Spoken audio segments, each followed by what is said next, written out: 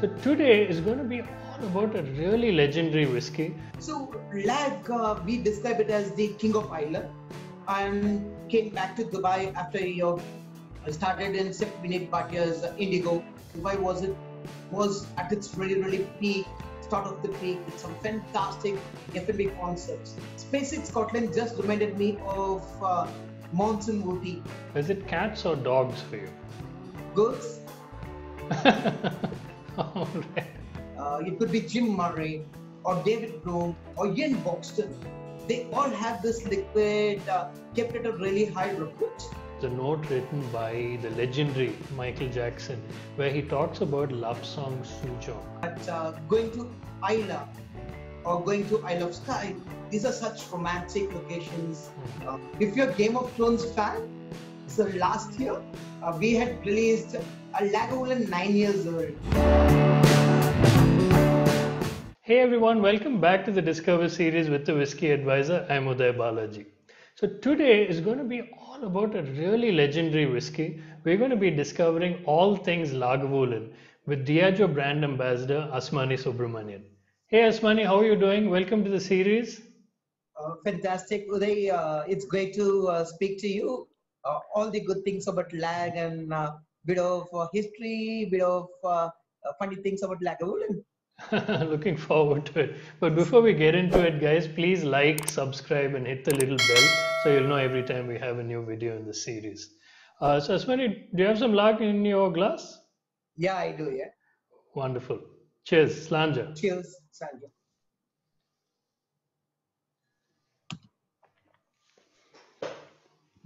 So, guys, Asmani grew up very close to where I live, just two hours away, in uh, the absolutely stunning uh, Nilgiris. I wish I grew up there myself, you know. Uh, but you know, from there, you seem to have traveled all over the world uh, Greece, the Middle East, uh, Scotland, all over, and I believe you're a sommelier as well. Could you tell us a little more about that?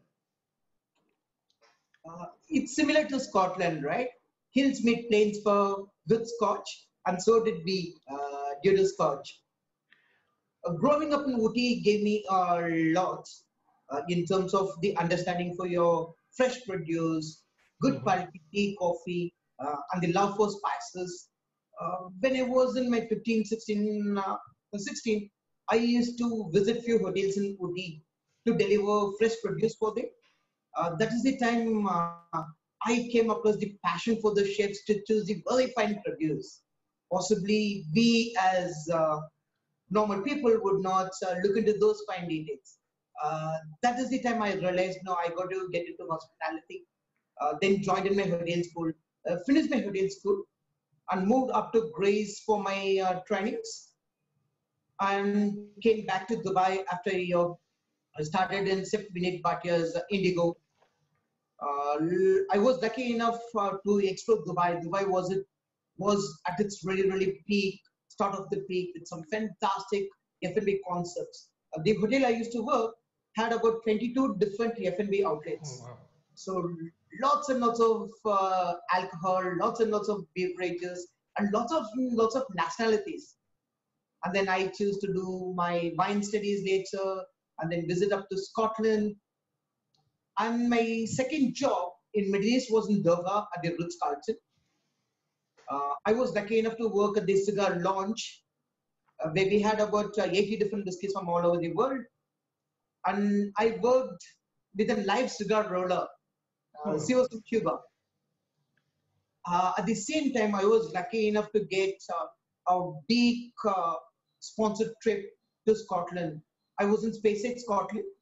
Speyside Scotland just reminded me of uh, Monsoon Ooty, June, July, how wet it is, uh, the amazing plains in your sixth mile to eighth mile. Hope you would have been there, uh, hitting up to your Glenmorgan and so forth. So that's the time I got my love for whiskey hitting up its peak. That's absolutely fabulous. It's quite a journey. It's funny that you end, started from Ooty and ended up in a place like Ooty.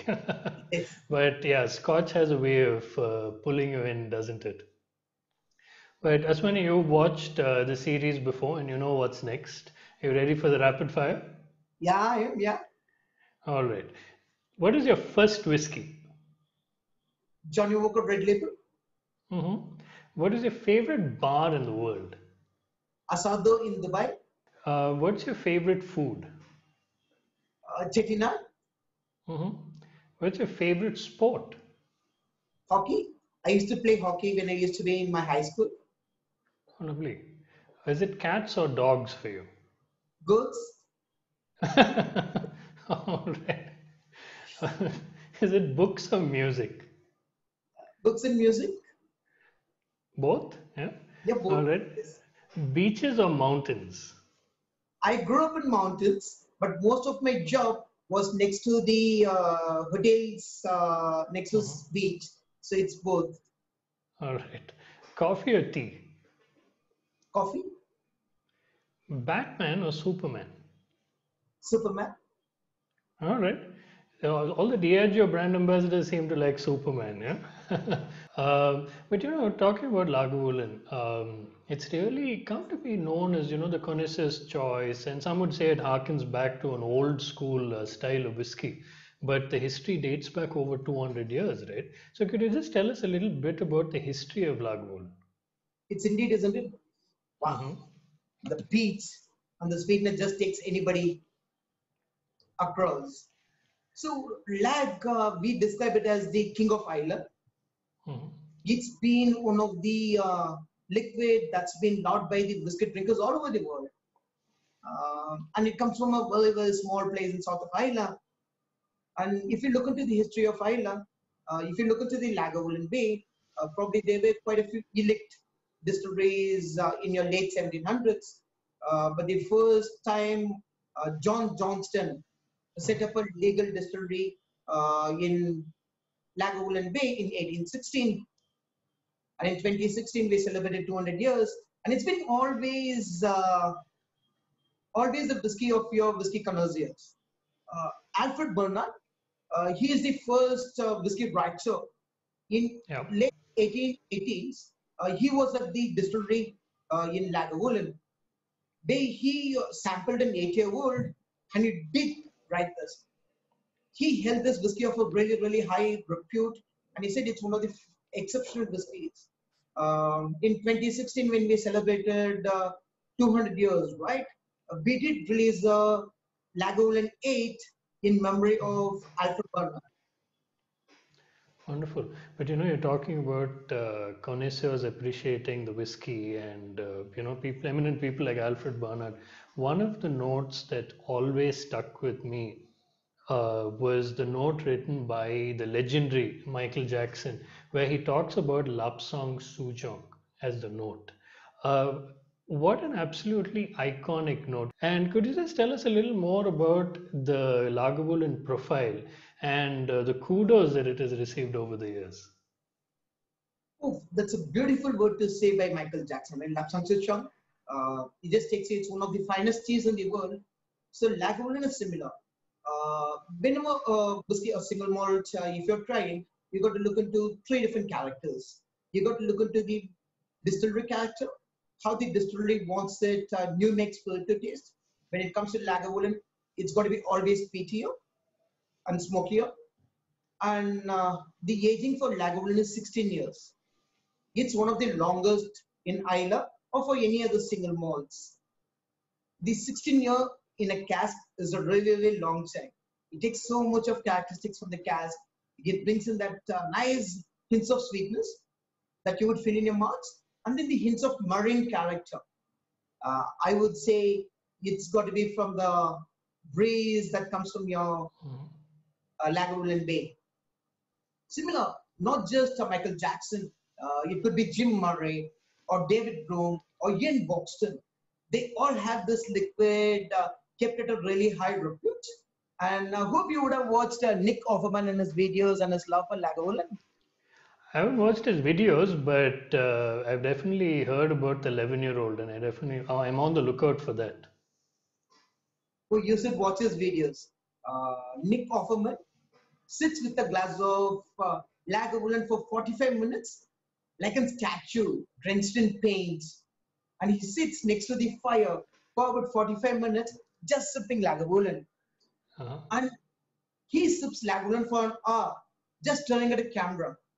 just sitting still, enjoying the flavors, enjoying the smoke. It's just a wonderful video to watch. Uh, you should definitely watch the videos. Mm-hmm. I'll, I'll definitely check it out. That does seem like an interesting uh, style of video, at least. But you know, you mentioned uh, Lagavulin Bay. So a few years back, I had visited Islay, and of course, I visited Lagavulin. Uh, so you know, the view of the distillery from the bay, from the waterside, is absolutely stunning. And uh, Lagavulin, such a famous whiskey talked about around the world, you'd expect a huge, almost like you know. Um, industrial complex, but really the visitor center is so homely and such a wonderful experience. I think it's one of those distilleries that's a must visit. And could you just tell us a little more about the distillery experience, Asmani? It's indeed right. It's one of the most heartbreaking romantic destinations in Scotland itself. Scotland itself is a beautiful country, but uh, going to Islay or going to Isle of Skye, these are such romantic locations. Mhm. Uh, I think sitting down or walking in the pier in your Lagavulin uh, Bay next to the distillery, right? You watch this beautiful sights of the Dunyvaig Castle that shows you the history of uh, Islay. Um, have you done bird watching in Islay? The bird watching in Islay is one of the most, most, most uh, popular attraction. Okay, next time So- for sure. Oh, next time you got to do it. I Mhm. would say uh, somewhere between April to September, ideal time to travel to that part of the world because it's pretty warm. It's not uh, wet. Uh, fantastic time to be there. So uh, the visitor center, right? That was the World Mill, World Malt Mill Distillery, which was taken into the distillery itself. That's Oh, a beautiful attraction, which is to make really, really uh, a PTO whiskey within your Lagavulin distillery. And uh, I believe that you would have taken aback by the two pure shaped, beautiful stills that's been sitting there, that's been making this fantastic liquid. Did you get a chance to meet Ian MacArthur? Unfortunately, not. No. Mhm. The legend, uh, this August 4th, he just finished 50 years with Lagavulin. Such a beautiful thing. He's a warm, uh, he's a true Islay guy. Uh, he has so much of passion and love for the liquid. Uh, he would uh, take you across the distillery to the warehouse uh, with the Lagavulin aging. Uh, he would uh, guide you through the tastings. Spending some time with Ian MacArthur, it's once in a lifetime journey. I don't think so. We would come across somebody like Ian MacArthur in our lifetime anytime soon. So that's what I would say. Uh, he's just a fascinating legend for me to go see. Uh, going with him on a peat cutting trip uh, to the Castle Hill Bog. It's just a fascinating experience, right? And you see the water, uh, how peaty the water is, how amazing the water gets into the distillery. It's such a beautiful, beautiful thing to be there to enjoy the liquids. Mhm. So next time I'm definitely doing uh, the warehouse tasting with Ian MacArthur. I just missed out on it. Uh, but bird watching and warehouse tasting, it's going to be an interesting combination. Please, you can do it, and please make sure that uh, either you're visiting Lago, like Lagavulin Distillery uh, in two instances. Either it's in May for your Festival of Malton Music. Uh, at the time, you definitely get a couple of uh, limited edition Lagavulin that's getting released, or somewhere in September uh, where you have your Islay Lagavulin Jazz Festival, uh, where we do release a couple of few limited edition bottles. Uh, these are some fascinating uh, time to be in Islay. Unfortunately, this year uh, we could not have both the festivals. So, you know, the limited editions are quite uh, hard to come across Asmani. But that said, the 16 itself is, it, it really has to be in every bar, you know, it's such a special whiskey. And yeah, exactly, every bar should have it. But uh, there's a wider Lagavulin portfolio, and you mentioned a couple of expressions as well. Could you just quickly run us through the different expressions uh, of Lagavulin? Classic Lag 60, it's widely available. And our limited edition uh, in 2016, the Lag 8, it has become one of the most sought of whiskies in the globe now. So that has also become the part of the uh, family. And uh, we do have uh, Lagavulin 11, uh, Nick Offerman edition, just as a tribute to the guy who got lots of fun thing into whiskeys. So he's the guy who broke that uh, whiskey being a stereotype, bringing in many more elements. It's an amazing liquid. You got to try it. I got one in Bangalore. Uh, next time we're catching up, we got to try it. Oh, and we do have uh, Lagavulin 12 year old cask strip. And uh, every September, you got your Islay Jazz Festival. So Lagavulin tend to come with a beautiful limited edition. The same with your Islay Festival of Music and Malts in May. So we do release few whiskies, which is really highly sorted out whiskies. These are really collectible, collectible editions, and they just come and fly off. And normally, we do not get more than two, three thousand bottles. So it's really, really a small uh, quantity. And most of the people who goes to Islay this time wants to pick up a bottle. And uh, if you're a Game of Thrones fan, so last year uh, we had released a Lagavulin nine years old uh, cask strength.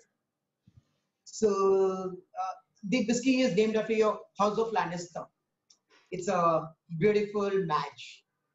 hmm So that uh, there's so many to try, guys, and uh, you know, when you go down to the distillery, you try some of the distillery editions and the warehouse tasting. So You can't talk enough about that.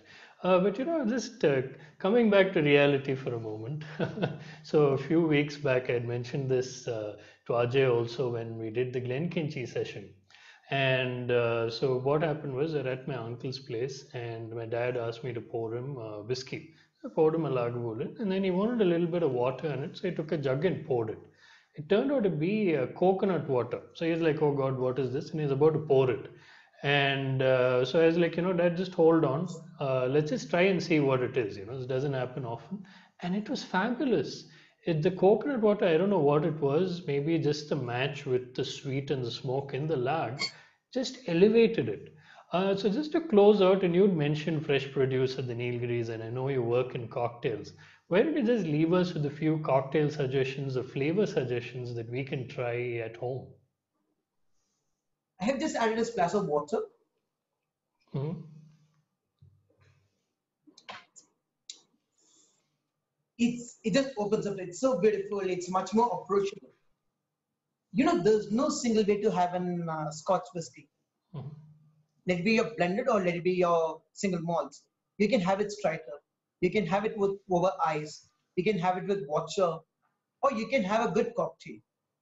In India, most of us loves our whiskey with uh, lots of lots of water and soda. The moment you step to Japan, right, that becomes a great highball tradition. Uh, men and women after work, they would step up to their neighborhood bar, have a nice highball, where the bartender would take a glass, fill in lots of ice, add a large whiskey, uh, good quality quantity of your water and soda, and then it's a beautiful tradition. Mhm. So uh, the whiskey comes from a different place, right? Uh, it's got its own provenance. It's got its own DNA. It's got its own characteristics. So if you're not a whiskey lover, I would always recommend you to adapt it to the flavors that you like the most. Bring in a small splash of that layer of the flavor, just enhance it a bit, and enjoy the way you wanted it. There's a fantastic cocktail called penicillin. Mhm. Penicillin is a twist on a whiskey sour. It's Johnnie Walker Gold Label. Ginger honey syrup. You take your honey, you put a bit of ginger, and you just uh, cook it for a bit, and a bit of lime juice. You shake it up, serve it over rocks, and a float of your Islay malts. Uh, I would do Caol Ila, Mhm. or I would do Lagavulin, or your Talisker the smokiness and the fruitiness from the whiskey and the citrusiness, right? That makes it a complete, complete whiskey drink. So it's up to you, the way you want to have it. And whiskey would be there. You do with a good cocktail. Still, the characteristics of whiskey would uh, linger in the entire glass. It just makes it more enjoyable. Uh, imagine Uday could be uh, spending uh, time with his friends and family. At the end, whiskey is all about conversation, right? possibly you see i do not have much more selections with me uh, if a friend visits me now possibly if he does not like one of those flavors what i would do is i would ask him what style of flavor he wants i would try to incorporate those flavors and obviously it's always smart to bring in the flavors from your kitchen I, I think it's a very, very, very nice way to put it. One is, you know, you're sharing uh, whiskeys to, you know, to build memories, you know, at some level, and uh, make it more accessible by asking people what flavors they like rather than pushing what they should be drinking. That's that's a really, really cool parting thought, Asmani. Uh, but it's been so much fun. It's always great chatting with you. Uh, I end up learning a fair bit as well, and I'm going to make myself a penicillin this evening. So. Yes, so guys uh, if you want to get in touch with asmani i'm going to put his details down in the description below and i will also put the lagavulin handle on instagram as well as uh, the link to malts.com where you can learn about all the diageo single malts uh, but uh, any last words asmani for the viewers uh, it's been fantastic to speak with you, uh, Uday. Uh, the way you're approaching Mr. right? It's got much more of your pronouns that comes in. So when it comes to whiskey, right, enjoy the way you wanted it. It's a whiskey uh, with lots and lots of characteristics. And obviously, it's completely nature, what nature is giving you, uh, what the work barrel can do, uh, the sort of flavor it brings, uh, this sort of time the whiskey lies in the work barrel, it matures slowly, right? Sometimes being slow is also just like a good lag 16. i couldn't agree more slàinte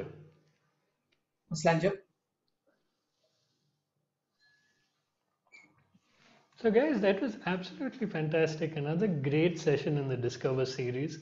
And as always, I've got to ask you to like, subscribe, and hit the little bell so you know every time we have uh, a new video in the series. So, many thanks to Asmani again, and what a fabulous whiskey Lagavulin is. Hope you have one uh, to drink today. Slàinte.